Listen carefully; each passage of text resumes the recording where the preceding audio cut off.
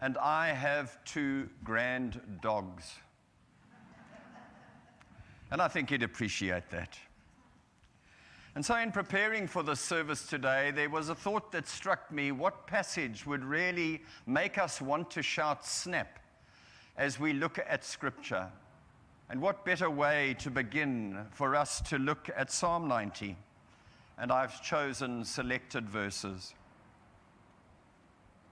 Lord, you have been our dwelling place in all generations, before the mountains were born or brought forth before you brought forth the whole world, from everlasting to everlasting, you are God.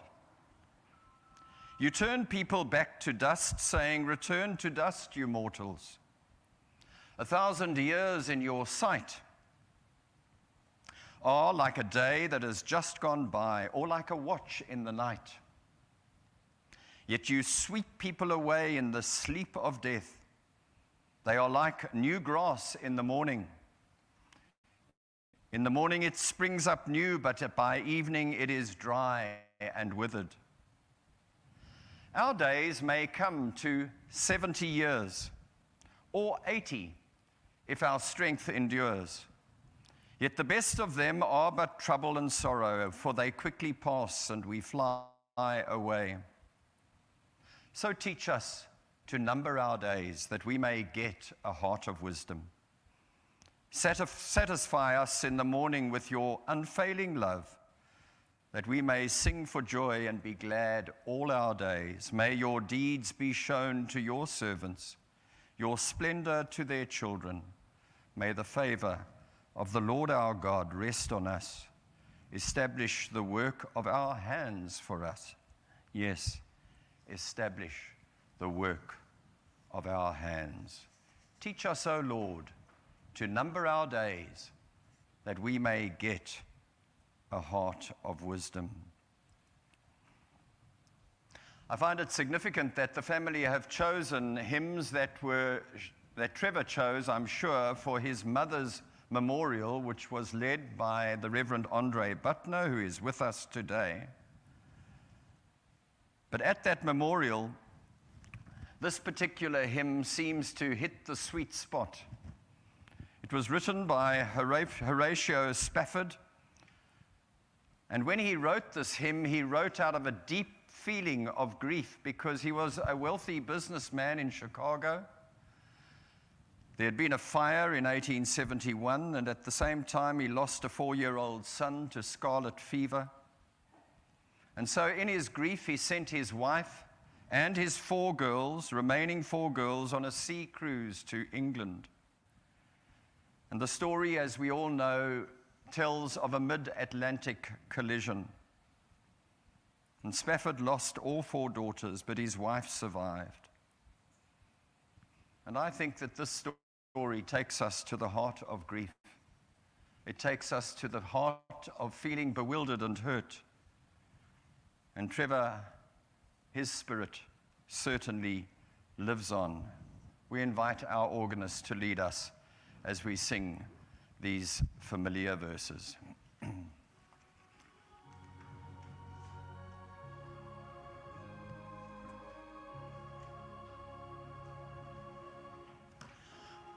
Peace like a river attendeth my way when sorrows like sea billows roll. Whatever my lot, thou hast taught me to say, It is well, it is well with my soul. It is well with my soul. It is well, it is well with my soul. We turn to the second last verse.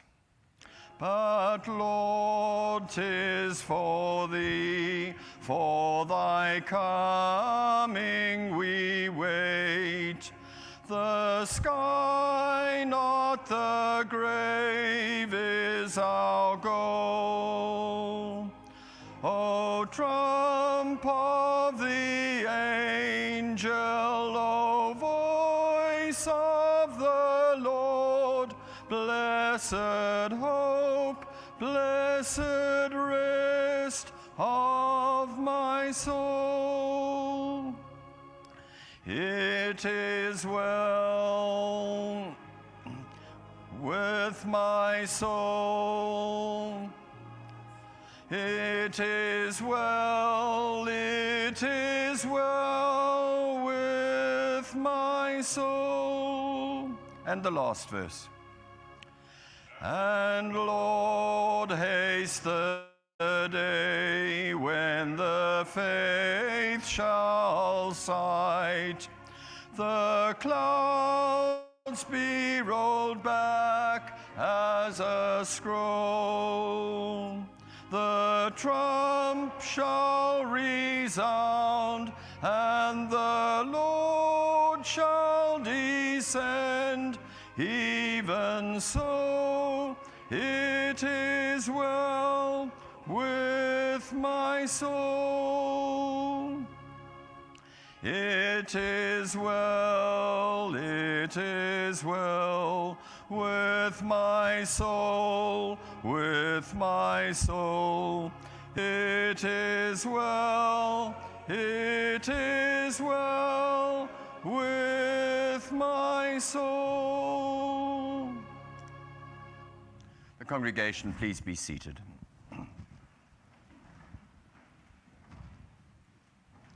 So let us come to God in prayer. Let us pray.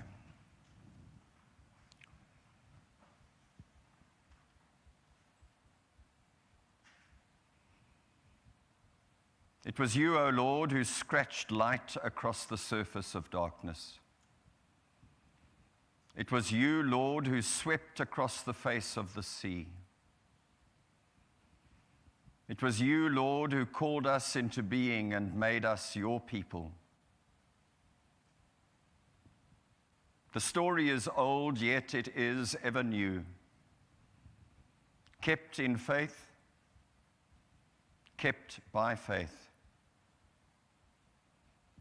The story surrounds our senses, for we remember hearing the laughter of Sarah, seeing old Moses climbing mountains, dry bones rising up, and we marvel at the touch of God's grace. We thank you, O Lord, for being our God in ages past and for years to come for your story is strong and vibrant. And so we ask that you would comfort us who mourn. May your word awaken us all today to put our whole trust in your goodness and mercy. For we confess that Trevor's death has left us numbed and shocked. And although COVID has helped us come to terms with our own mortality, not seeing him again in this life is hard to accept.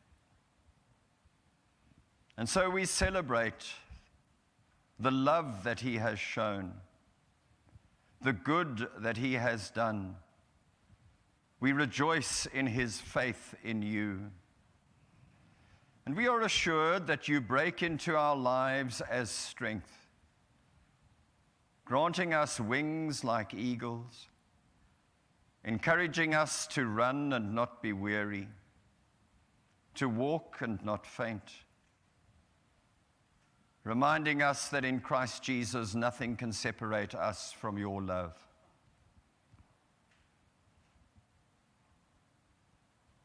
You bring patterns into our days. A child is born, the first day at school, the driver's licenses, graduation, marriage, new jobs, birthdays and promotions, departures, retirement planning, grandchildren and great grandchildren. And so, Lord, in the spirit of the psalmist, help us to treat each day as a gift from you, to live each day as if it were our last. When we face separation and loneliness, grant a listening ear and a gentle test, touch. Draw near to us. Provide still waters for those trapped in whirlpools of stress and depression. Encouragement when discouragement drags us down. May your story become our story. And so this morning, we pray that you would open us to the wonder and the beauty of humanity, that you would open us to the dignity of diversity in each face and in each experience. And as we celebrate Trevor's life and talk about his ministry, fill us, we pray, with generosity.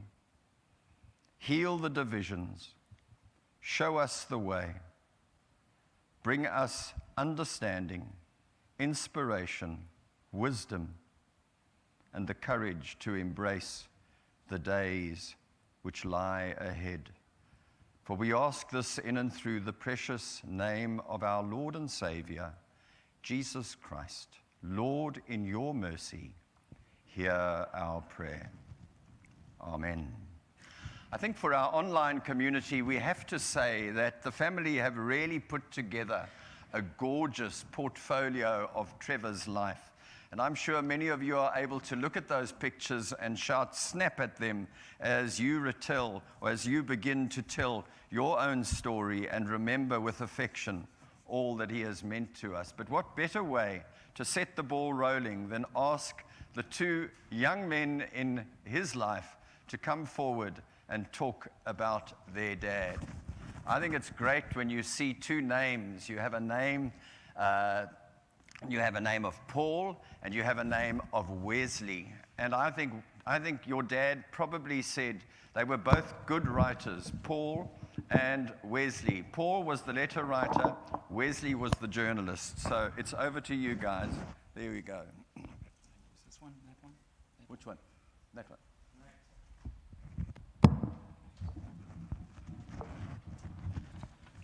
Hello, hi everybody. Um, I'm going to start off by saying pretty much what uh, Reverend Hildebrand said. It's, uh, when I thought of coming up here today, it was a bit of a surreal feeling. Um, for us as a family, you know, events like this that are notable, whether it be a memorial service, a wedding, or a baptism, is normally where my dad would stand up and take the reins and guide us through. This is something I noticed from a very young age. I noticed my dad taking the reins in these situations, and it was always evident how strong he was. The last few of these occasions, just to mention those that were notable for our family, um, I mean, the first one was my wife's uncle, his memorial service. My dad performed the memorial service back in 2010. Uh, my dad married myself and Haley back in 2013. It was wonderful to have him perform the ceremony. He baptized our first grandchild, well, his first grandchild, Julia, um, back in 2015. He facilitated his own mother's memorial in 2016, my grandmother. My dad also baptized his youngest grandchild, Lillian, in 2018. And lastly, he shepherded us through a small memorial for his own father, my grandfather, back in 2020. My wife Haley wrote a beautiful poem for my dad once we heard he was sick. She sent it through to him. I'd just like to take a small piece of it. She wrote, Strength is defined as a state of being physically strong, but not you. Strength is defined as constancy, as patience, as presence, as knowledge, as dependable. And that is how we experienced him. He's always been that kind of strength for us and the right kind of pillar of strength and brought so many people together, as I know he has for so many people here. Being back here at Parow brings back so many memories of my dad and being with my dad. And the one memory that I always think about is every Christmas morning. I would get so excited, obviously more excited about the Christmas gifts, but Mainly, secondly, should I say, because of his stories that he would tell. The reason we got so excited, he'd take an ordinary time of our lives and just incorporate it into a beautiful Christmas message. I remember simple things such as my brother and I panicking on Christmas Eve. We couldn't find our cat Jojo, as cats go missing, and we all know. We, you know, we would stand up and say, "No, we're not going to have Christmas without Jojo," and then she would miraculously appear, as cats do. Another story I remember him pulling out on Christmas Day was a, a neighborhood friend of ours bringing us a gift on Christmas Eve. This was a day after he threatened to hit us with a spade for looking over the wall of his house. And probably my favorite one was a story that my dad, I, think he was standing over here. Um, for months, him and my mom were looking for a pair of pants for him. And finally, they found this miraculous pair of pants that satisfied every need. And my dad actually brought it on Christmas Day. He threw it over the podium, sort of to show his excitement of these pants, and went on to illustrate how the shop store people were basically standing on each side of the store clapping as he walked out with his fists raised in the air in triumph. Um, I don't know what the story of that or the moral of that one was. Maybe it was to have faith, but um, I, I, probably pretty close. This was typical of my dad's imagination and sense of humor that we love so much, and something I try to emulate with my own girls. Lastly, from my side, I tried to think of one person that didn't or wasn't fond of my father. I don't know of a single person guys that I haven't seen at school, and I've been out of school now for 20 years, um, they normally ask me how my dad is before they ask me how I am. So it just shows you what an impact he made, being present at every sort of cricket and rugby match and even the practices. So when Mark explained what people would say about my father on Facebook, I tried to have a little short sentence of what he was. And yes, self effacing is certainly the first one that comes to mind but also gentle, brilliant, insightful, and a wonderful dry sense of humor. Thanks so much. I'll pass over to my brother.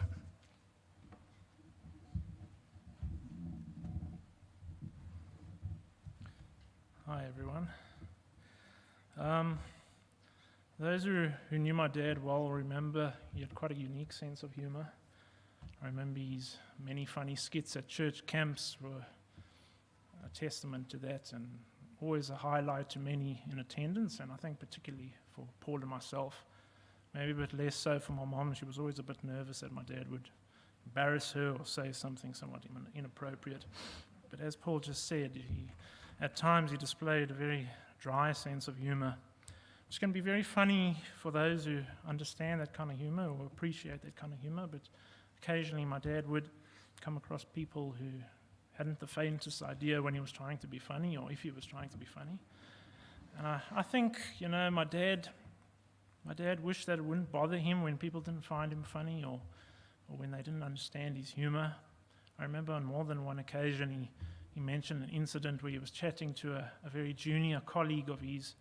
When attempting his classic sort of straight faced sense of humor with his colleague, the guy just looked at my father with a perplexed look on his face and he just eventually said, You weird.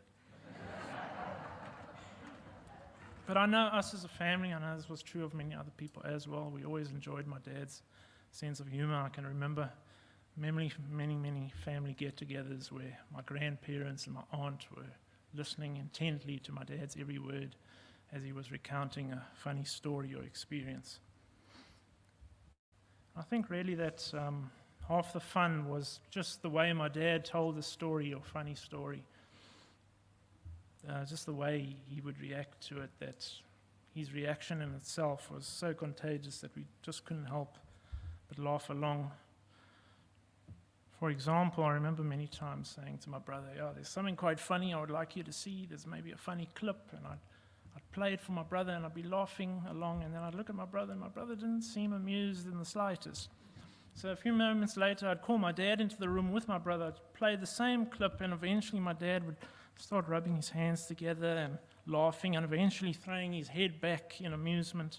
And then I'd look at Paul, and Paul would be looking at my dad, and Paul was. Suddenly, Paul would be laughing. And I'd say to my brother afterwards, Why do you wait for dad to laugh, to laugh yourself? And he would say, Yeah, but it's actually dad's reaction that I find funnier than anything else. And I think, yeah, in that way, my dad's demeanor and his laugh was, was very contagious. My dad was also more than able to withstand some light-hearted teasing from my brother and I. We would often refer to his doctoral thesis, and we would say, Dad, have, has anybody ever managed to decipher what you were going on about in that thesis of yours? I remember saying to him, Dad, what I like about your thesis is it's a nice, thick book, so nice and thick, which can be quite useful if you ever come across it in a library. You can use it to stand on to reach for a better book. And my dad would just go along with the joke, keep a straight face, nod along, and true, very true.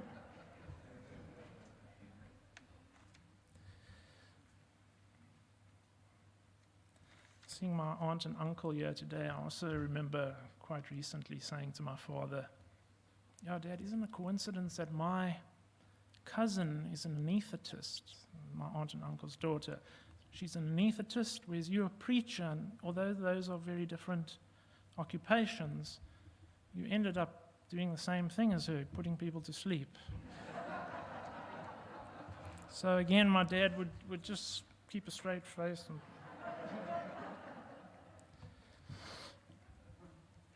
Paul and I would often refer to the story of Eutychus in the Bible. Eutychus was a young man who uh, due to the lengthy duration of the Apostle Paul's sermon, Eutychus actually fell asleep, perhaps out of boredom. Paul and I would say to my father, Isn't it a coincidence that there was a very similar incident during one of your sermons? The only difference being, in this particular instance, the congregation member was so bored by your sermon that he willingly. Sorry, I actually need to backtrack. Eutychus yeah, he, he fell asleep during the Apostle Paul's sermon and actually fell out the window of a three story building. Yeah, that was rather important information I for, forgot to include. Yeah, he, he, was so bored by the sermon, he fell asleep um, and he fell out of a three story building to his death.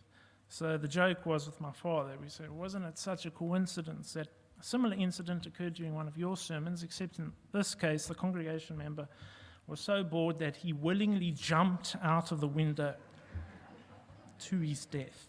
And again, my father would just nod along and say something perhaps along the lines of, Yes, I remember that very well.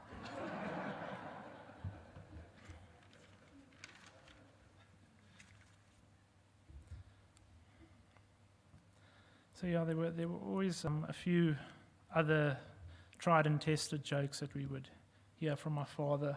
One of the, the, the one of the jokes that was commonly used was to the, to the point where Paul and I would perhaps roll our eyes when listening to it. But if my father was ever at, at an event or a function of some kind and he was asked to say a prayer, or perhaps at a, a meal gathering and he was asked to say grace, then my dad would say the prayer, and then Paul and I knew what was coming next. Immediately after the prayer, my dad would look up and say, Okay, now I'm going to take a collection. While that occasionally got some laughs, Paul and I would always look at each other as if to say, oh no, not this joke again, not this. Yeah, so my dad was always, he was always able to, to laugh at himself. I'm not sure if many others would find it funny, but I remember particular story. I don't know why I remember it, but I remember a particular story where he was telling me how he was going, walking through town, going about some daily chores, when he came across a lady who, who knew him as a minister. And she, she asked him if he was able to fill in a particular form and, and make a small donation to a particular charity. My dad said that he was more than happy to oblige, filled in the form, filled in his details, and then made a donation. And then, according to my dad, he then said to her, I'm sorry I can't give more, but I'm a poor minister. And then, according to my dad, she replied by saying, Yes, I know, I've heard your sermons.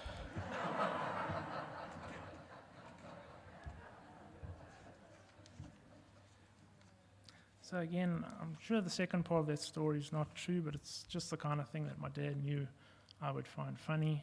And I think it's a, the kind of humor that's really typical of him. I must say, though, that I, I found it to be quite a daunting task trying to summarize for you today some of the humor that was typical of my dad. Um, I don't feel that I could ever do him justice in doing so. I do. I also did find it quite difficult thinking back, trying to trying to remember specific funny moments involving my father, trying to remember exactly what he said, how he said it, that made me laugh so much. All I, all I can think though is that one needs to one needs to reminisce with family and friends, and in doing so, we can share fond memories of my father. Um, share my rediscover what made him cherished by so many, and ultimately keep the memory of him alive for years to come. Let's give him a good clap.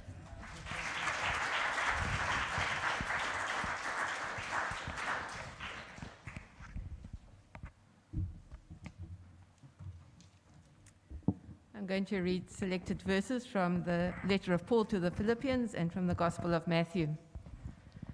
Finally, brothers and sisters, whatever is true, whatever is noble, whatever is right, whatever is pure, whatever is lovely, whatever is admirable, if anything is excellent or praiseworthy, think about such things.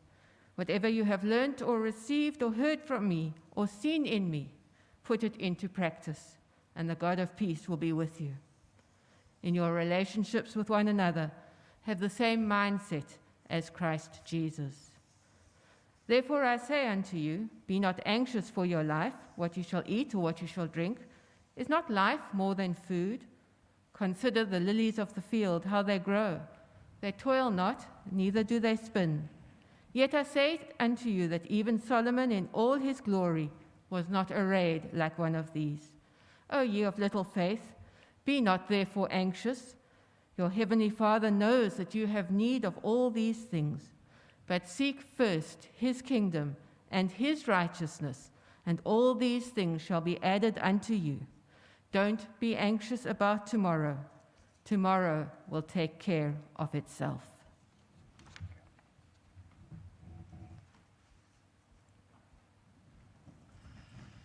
Spirit of the living God, fall afresh on me. Spirit of the living God, fall afresh on me. Melt me, mold me, fill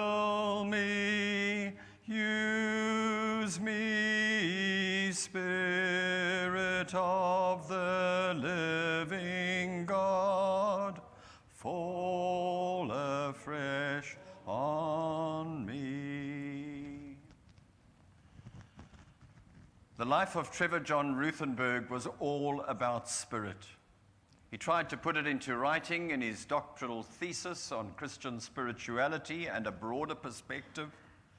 And that spirit is a spirit that we celebrate here together as family and as friends.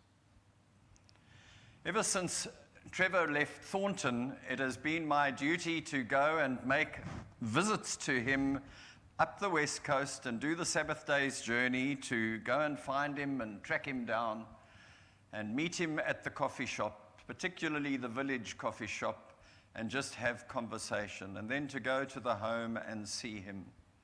But it was the bishop's letter that really prompted me to get hold of one of the colleagues, one of his colleagues from Rhodes University, Gavin Leverton, who's with us here today. And the two of us made our pilgrimage to Oakmont Road in Sunningdale to go and see the Ruth. And that was our nickname for Trevor. We called him the Ruth. And I guess that when you look at that word, there are some pointers that help us in our tribute here this morning. The first in that letter, in the acronym, is the spirit of respect. And there's a sense in which we stand before God today and we honor our parents. Trevor's dad was a tradesman, a blacksmith who melted steel and made horseshoes and tore the ligaments in his wrists. His dad loved soccer, athletics, and his workshop. There you would find him making wooden toys, dolls' houses, and repairing anything that was broken. I remember visiting his folks and having a good conversation with his dad and mom at the old home at number 8 Acacia Way in Thornton. Glynis remembers very well her folks chatting to my folks after a morning service at the Thornton Methodist Church a long time ago, Glynis. Our roots run deep and we honor our heritage. Trevor knew the rules and inherited the values of kindness and love and friendship in that home. And those values have stayed with him all his life. Moving to Rhodes marked the first significant break up of the family. Trevor began to take root and grow, stretching his mind and deepening his faith, and lifelong friendships were formed. In 1979, he landed up in Springs, and I think Anne knew that the Ruth was serious when he came to say goodbye to her after a Friday night guild meeting on her memorable trip to Europe and beyond. He came to say goodbye to you when you went off to London and Oberammergau and to Germany and Italy and Israel. And not to be undone, he went overseas, just one trip overseas in 1981, and he visited Israel. Reverend Harry Irons and Neville Micklethwaite, who incidentally turned 80 on Sunday, made sure that the knot was tight in July 1982. Working with Viv Harris in Brakpan for the next seven years strengthened his resolve and understanding of his calling. Celebrating the arrival of Paul and Wesley sealed the deal for Trevor, and the rest is history. 17 years here at the Parow Methodist Church, three years in Mafeking, seven years in Thornton Respect. Respect. Respect is a feeling of deep admiration for someone or something elicited by their attributes or qualities and achievements. Respect is something that we honor in our memory here today of Trevor. Trevor could disagree respectfully, but always throw out a challenge. He could show gratitude and compliment the achievements of other people. Trevor could let you know that you mattered as a human being. I loved the way that he asked questions. What makes you say that? He would say. He trained himself as an academic to be specific in his critique. Trevor could hold center stage, and today we acknowledge our respect. And even if you didn't enjoy the jokes, he still gets our respect. And I think that for both Gavin and I, there was a moment in our lives that we realized that Trevor was dealing with the end game. There was an oxygen tank, that had come to replace it, and he was struggling to converse with us. And I realized that this disease had really taken hold of his body. And in conversation, just two days later, I went for a meal with a couple who are known to us within the Cape District, Jenny and Ermel Kirby. She was Jenny Sweet. And Jenny coined a phrase that I found incredibly helpful. She said, You know, Mark, Trevor was a most unusual man. And that second word in Ruth for the you, the unusual, seems to stick for me. I suppose he was a good Methodist because he was a nonconformist. He was someone who was part of the Free Church movement. He was someone who began to say to us, Look again at what's in front of you. And I think that Jenny's words echo so much about our thoughts of Trevor. Trevor was interesting and remarkable, extraordinary. Not what people would expect. Teaching us to look between the lines, teaching us to think out of the box, surprising us. A rare person, a rare human being, differing from the normal. And I'm glad that Wesley was able to just highlight some of the humor. I think we all have our stories of the way in which, Teven, uh, a way in which Trevor be able, was able to give us that, a belly full of laughter. It was his wicked sense of humor that caught our attention. I always remember the trip to Mafeking. He had phoned me up earlier on and I said to me, You know, guess where the church, and this is what ministers always say, especially in itinerant ministry, guess where the church has sent me. And I said, No, Trevor, where? He said, To Mafeking. And I said, Are you serious? And he said, Yes. And he really said, I don't know how I'm going to deal with this one. But off he went. And I'm told that the family traveled up, minus the boys, because they stayed with Glynis, and the family was separated, and off you went, but the pets went with. And you stayed over in, in, in, in the Travelers Church, which my dad called Beaufort West, West Methodist Church, courtesy of Rodney Baumeister. And you stayed over, and you eventually made your way to Mafeking. What struck me was the story of the arrival of this family car in Mafeking, this desolate, tired, tired, tired town. And Trevor mused about the experience and he drove through. He tried to get a feel for the context of this new space and this new appointment. And he said, You know, I came across the cinema, the local cinema in Mafeking. And he said, I looked at this place. He said it was closed up. It was dusty. It was dirty. I don't know when they had last shown a movie, but he said, I looked at the notice board and I thought about my ministry and how I was going to attach myself to this community. Because on the notice board was the last movie that was shown, but unfortunately, the poster had already dropped down and it was upside down. So I looked underneath and I said, there's the title Superman Returns.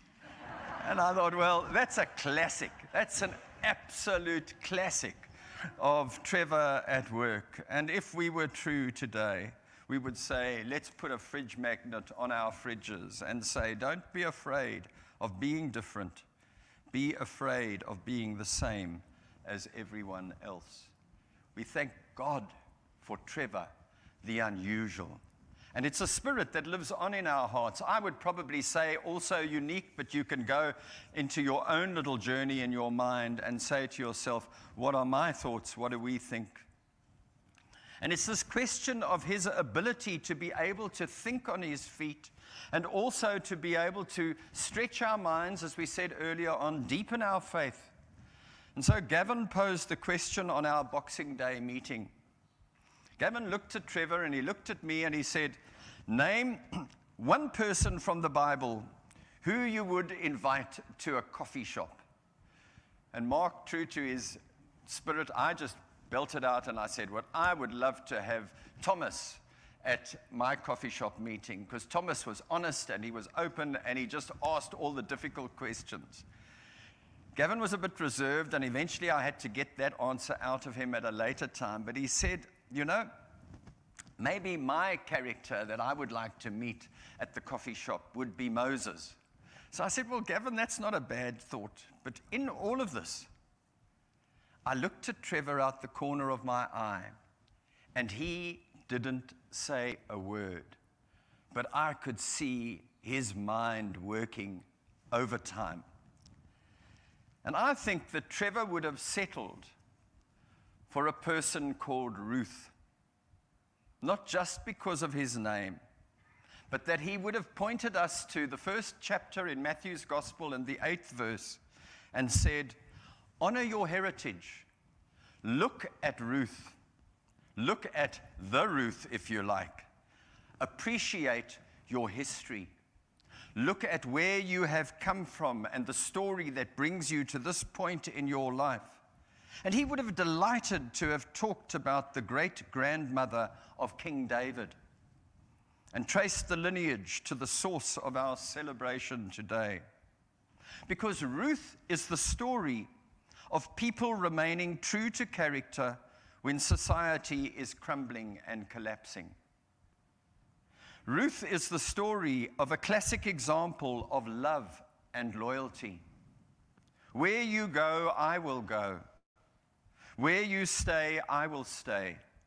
Your people will be my people. Your God will be my God. It's the story about justice. It's a story about a way for widows and orphans and the poor and foreigners. It's the story of the means for caring, and they adopt the word called gleaning, scavenging for food that keeps them alive. And I could hear Trevor probably saying to us today, So, what did you glean today? What did you pick?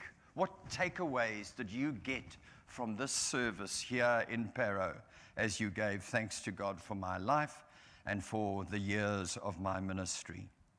It's that spirit that makes us say, Teach us, O Lord, to number our days that we may get a heart of wisdom. And if any guiding thought holds us, it's that thought that gives us a sense of strength and encouragement. But it's the last letter that really puts it all together for us. And it's great that we are here in Parow. It was lovely to speak to Esme the other day. And if you really want to know what goes on in the history of this church, speak to Esme.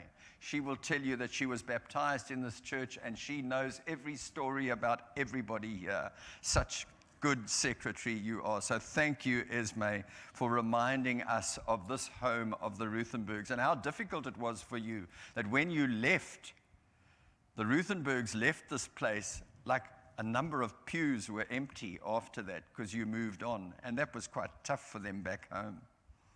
But when we got back together at Oakmont Road with the family, and this was just meeting with, um, with Anne and the boys, the question was raised where would the service be conducted? And Anne openly said, Look, I want a big church.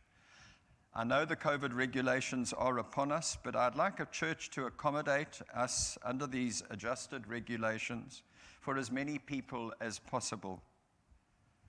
And it's good that we are here. It's good that we're in the space that literally gave him his doctoral thesis, that made him who he was. Trevor really felt at home in the sanctuary. We saw it in the tributes here today. But he also felt at home watching rugby, especially a game of rugby. Boca, home with his family, at home with his books, at home in the coffee shop. When we looked at the two lads coming here, I said to them, Well, Paul, he was the great letter writer when you look at scripture and you referred to it admirably in your talks. But Philippians was written to the first church that, that Paul established on European soil. Paul was in prison. And like Trevor, he was troubled by opposition and disturbed by the false teachings that were so prevalent in his day. But the message is so clear to us as the people of God as we begin to say to ourselves, Lord, what is the secret of this life? The secret is simply that we need to be still and have a humble outlook of Jesus. We need to place emphasis on joy and confidence and unity and perseverance. And when we live in the joy of the Lord, the peace of God, which passes all understanding, shall keep your hearts and minds in sync. It's as simple as that. Jesus says, consider, think about all these things. And that's what Trevor made us do. He took us home. And that's when it gets tough for us because, in many ways, we've seen the signs of the kingdom in Trevor's life. We've seen them expressed, and after this service, you'll have your own conversation. In fact, we could stand in this, in this courtyard afterwards and be here for the rest of the week. So deep is the root. But he has brought us home to home.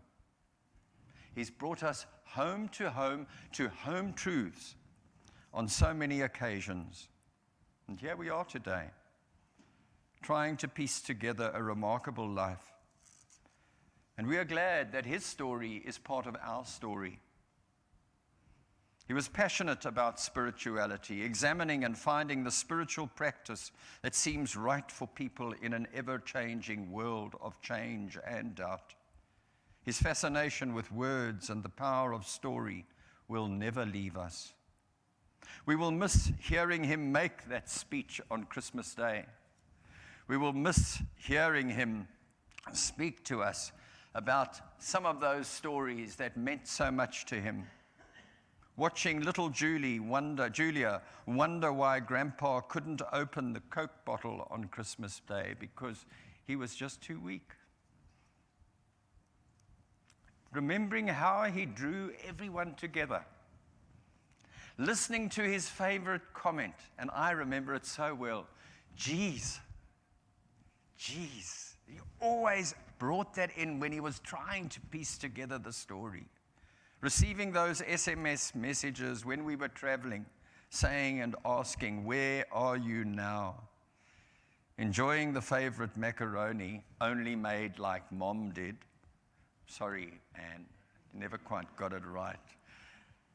Experiencing firsthand his pastoral care.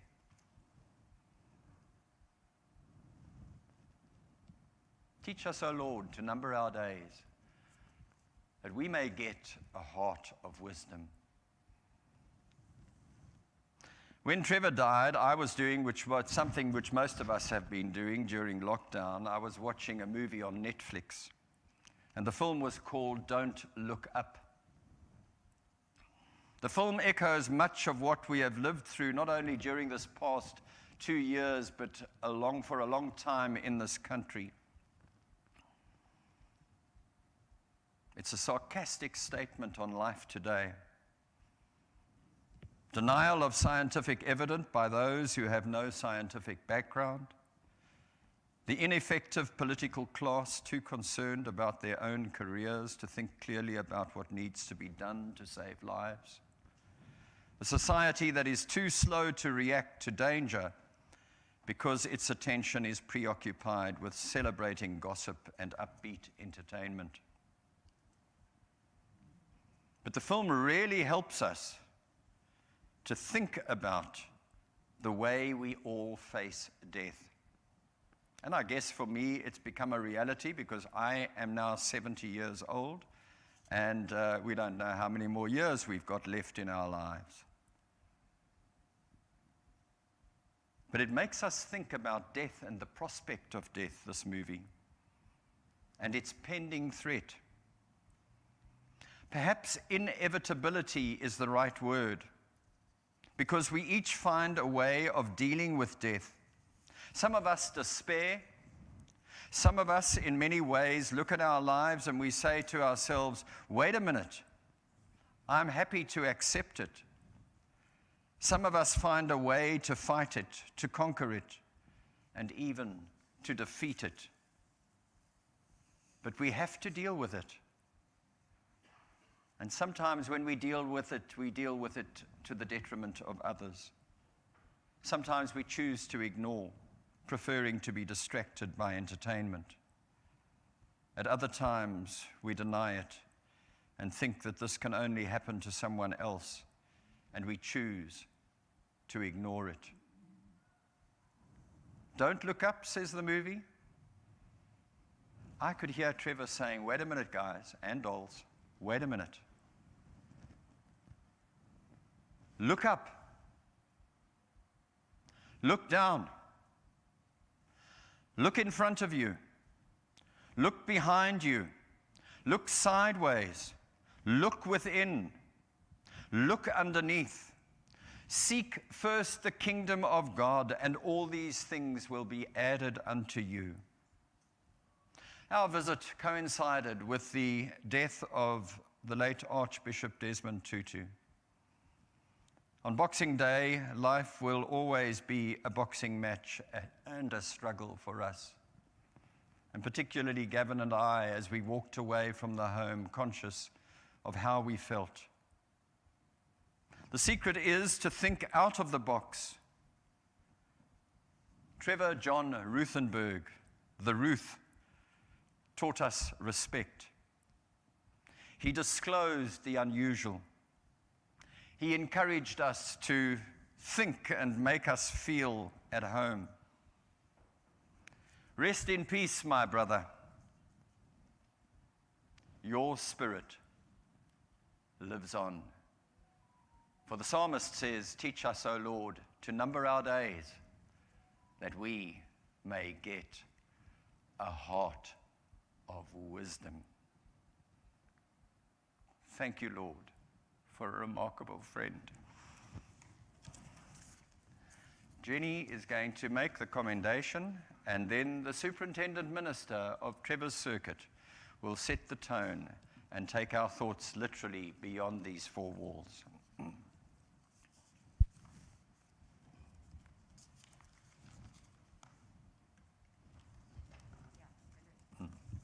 Thank you.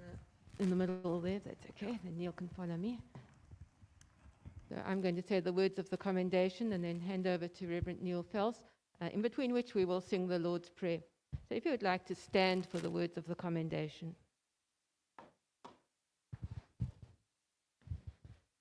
Let us pray. Merciful God, you have made us all and given your Son for our redemption.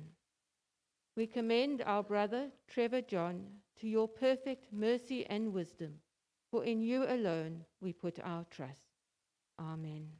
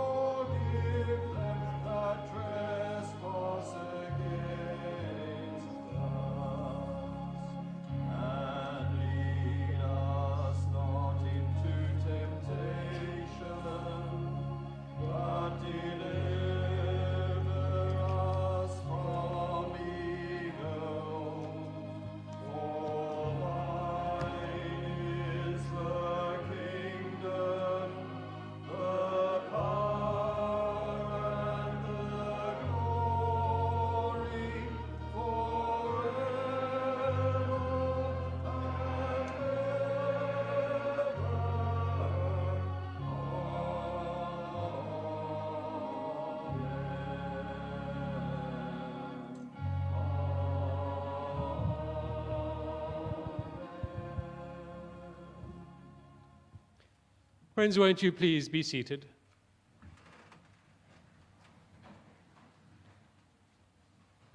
So, Anne and Paul and Wesley and Glennis, family and friends gathered here today, I greet you and I offer you our deepest condolences, not just from myself, uh, but also on behalf of the Cape West Coast Circuit, where Trevor spent his last years as a supernumerary.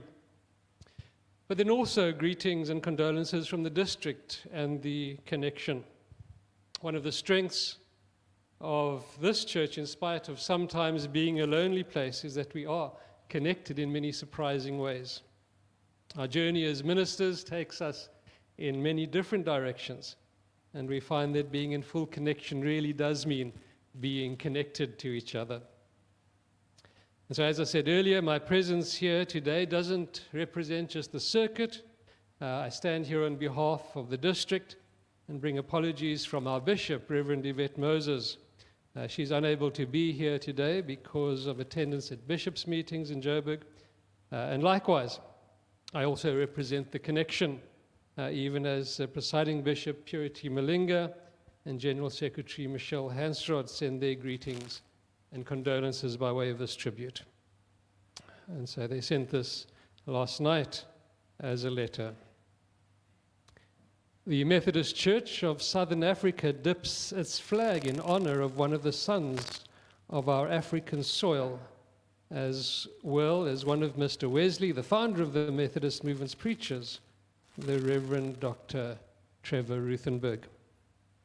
Trevor was first and foremostly a devoted and committed follower and disciple of Jesus Christ, his Lord and Savior. It was this relationship that was the foundation of all he was and was to become. It was this relationship that also undergirded his ministry, especially in the MCSA. Trevor entered the Methodist ministry in 1976 and was sent to Rhodes University for his training. He was subsequently ordained at the 99th conference of the MCSA held in 1981 in Grahamstown and presided over by the Reverend Dr. Simon Gqubule as the president of conference. In his years of active ministry, he was to serve in various circuits throughout the connection, amongst others, 11 years on the East Rand, 17 years here at the Parow Church, which were of the happiest and most fulfilling years of his ministry. Three years in Mafeking, and finally seven years at Thornton, his home society, where he retired in 2016 after an active ministry spanning three decades. Trevor was a perpetual student who, after attaining his undergrad qualifications, furthered his studies and was awarded an honors and master's degree, and finally a PhD from the University of South Africa. His deep humility, which characterized Trevor's life, never allowed him to boast about his academic achievements, as is so often the case. Instead, he used his knowledge to equip and empower others. Despite the titles he held, he would remind you that I am simply Trevor and not my titles. The key characteristics of Trevor's ministry was his deep humility, his gentleness, kindness, and caring as a pastor, a wise sage, and a soft spoken yet formidable preacher. Trevor, by nature, was an introvert and someone who did not often speak. But when he did, especially on matters that he felt passionate about, he would speak and everyone would listen attentively to the wisdom he would share. As an elder colleague and brother in ministry, Trevor was deeply loved and respected by all he came into contact with. He was to serve as a mentor to generations of student or young ministers appointed to serve alongside him, and was a trusted confidant to those who are of his generation in ministry. During his ministry at Parow, he offered special pastoral care to our former president of conference, Reverend Abel and Frida Hendricks, following their sad loss of their only son. Both deeply appreciated his care and held him in high regard until their lives end. His passing will definitely leave a void in the Methodist Church of Southern Africa and will be fondly remembered by the people of this connection. We thank you, Anne, and your boys for sharing him with us, often at great cost to your family life. Trevor, we salute you and give thanks to God for your life and work and ministry, even as we offer our sincere, sincerest and deepest condolences to you and your sons and the Ruthenberg family. Rest in peace, dear Trevor, and rise in glory. Friends, I said earlier that the world is a smaller place through our connections with one another. As Yvette and I spent time with the family last week, we discovered that we, myself, and the Ruthenberg family share some history at Springs. Uh, Anne and myself both grew up there, and as an adult, she and her family attended the same medical practice that we went to as kids. Uh, and indeed, my childhood doctor helped her give birth. Uh, so I'm sure that there are many more of these coincidental connections with other members of clergy. As we journey forward from this moment, and I pray that these connections gathered through a lifetime of ministry across this beautiful country, uh, as you reminisce over them with others, will encourage you in the ongoing journey.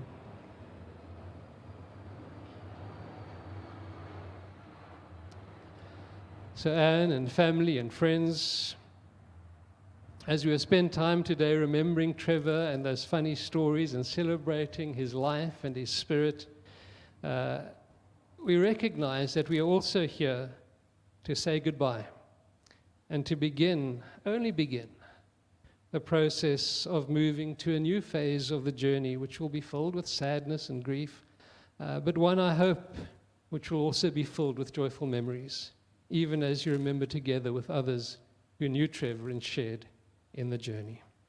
And so, in that spirit, we commit Trevor's remains back to the elements. I invite the congregation to stand, please.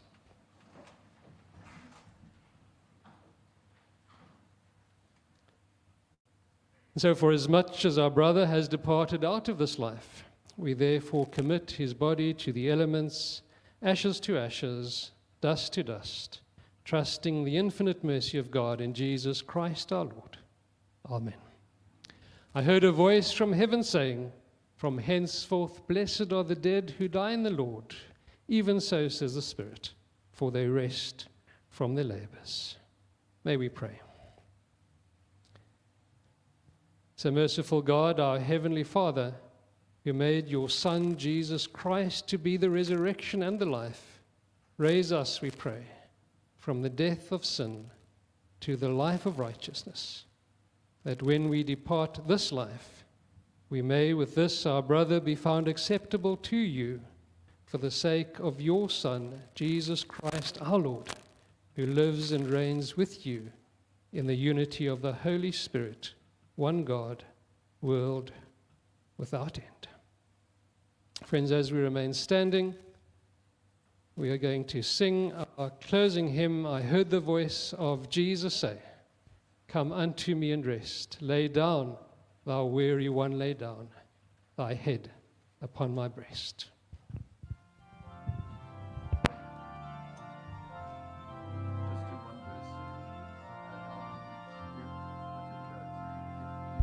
Just one verse.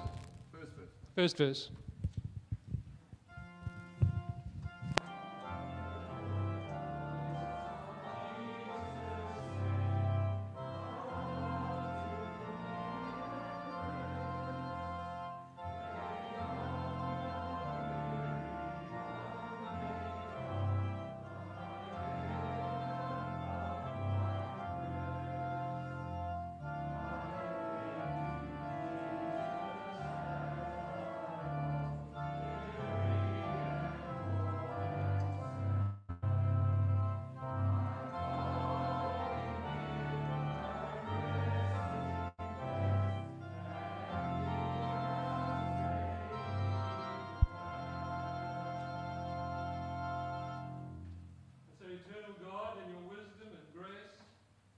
You have given us joy through the lives of your departed servants and especially through Trevor.